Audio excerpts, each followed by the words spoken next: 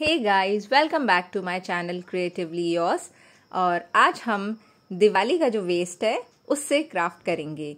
तो हमने उसके लिए फुलझड़ी के जले हुए दो वायर्स ले लिए हैं, जिन्हें हमने ग्रीन टेप जो होता है, उससे कवर कर लिया है।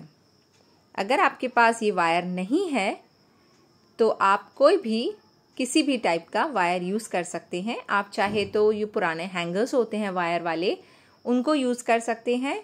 या फिर मार्केट से भी आप परचेज कर सकते हैं। बस एक चीज़ को आपको ध्यान रखना है कि ये वायर थोड़े सॉफ्ट हो, बहुत ज़्यादा हार्ड वायर लेने से हम जब इसको ट्विस्ट करना चाहेंगे तो ये ट्विस्ट नहीं होगा।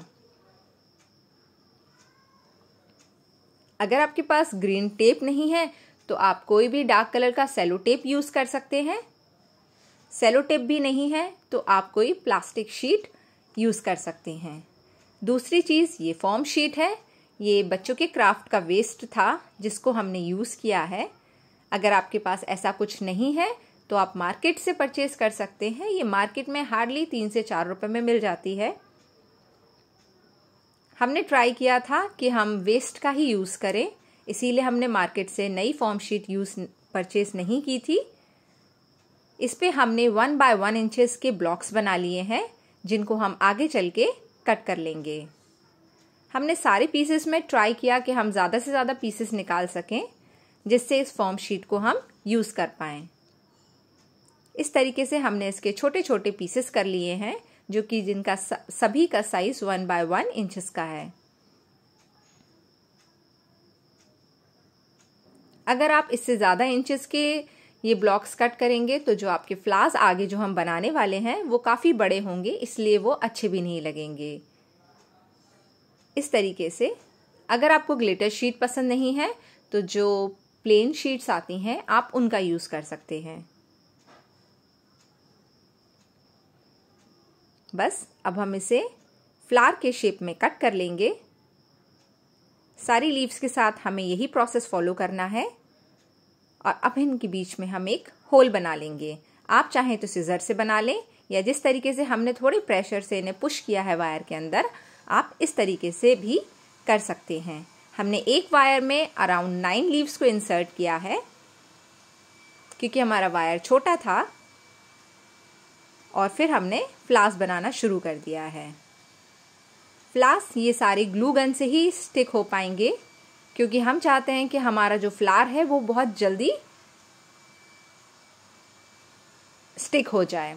तो अगर आप कोई फेविकॉल वगैरह कोई ऐसा ग्लू यूज़ करेंगे तो वो अभी इस समय काम नहीं आ पाएगा। तो मेक श्योर sure आपके पास ग्लू गन या कोई ऐसा अडहेसिव होना चाहिए जिसकी स्टिक करने का पावर अच्छा हो।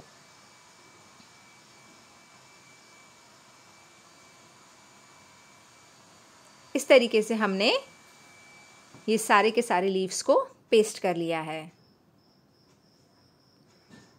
अब हम दूसरे वायर में भी यही चीज़ करेंगे। अगर आपको कलरफुल फ्लावर पॉट बनाना है तो आप कलरफुल शीट्स ले सकते हैं।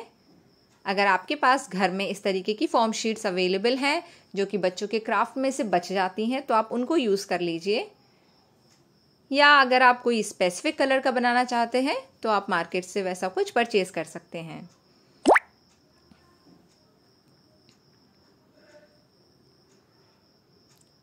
और ये बनकर रेडी हो चुकी है। आपको इन्हें थोड़ा सा ग्लू गन लगाने के बाद थोड़ा थोड़ा होल्ड करना पड़ेगा। बाद में हम इनके टिप्स पे थर्माकोल की बॉल्स पेस्ट कर देंगे। पिंक फॉर्म शीट का यूज़ किया है। ये हमने मार्केट से परचेज की थी। आप भी इसी तरह डिफरेंट डिफरेंट कलर की फॉर्म शीट से फ्लास बना सकते हैं। अब हमने इन्हें फ्लावर पॉट में फिक्स कर दिया है। आप देख के बताइए कि ये कैसा लग रहा है। बहुत ही प्यारा लग रहा है। आपको भी अच्छा लगा हो तो ज़रूर लाइक कीजिए शेयर कीजिए। चैनल को सब्सक्राइब नहीं किया है तो प्लीज़ चैनल को सब्सक्राइब कीजिए और बताइए कि ये आपको कैसा लगा। Thanks so much for watching bye bye take care